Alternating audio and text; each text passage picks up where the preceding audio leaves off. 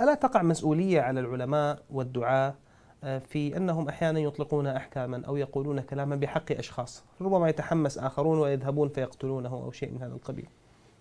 نعم جزاك الله خيرا. ينبغي للعالم إن كان عالما حقا أن تكون ألفاظه منضبطة بضوابط الشرع. وكذلك الداعية إلى الله عز وجل لئلا يكون هو نفسه من مثير الفتن أو من مثير الشغب.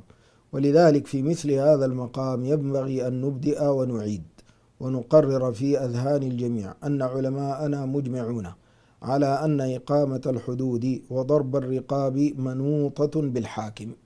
فإن قام بها فهو في ذلك مشكور مأجور وإن قصر فيها فوزره على نفسه.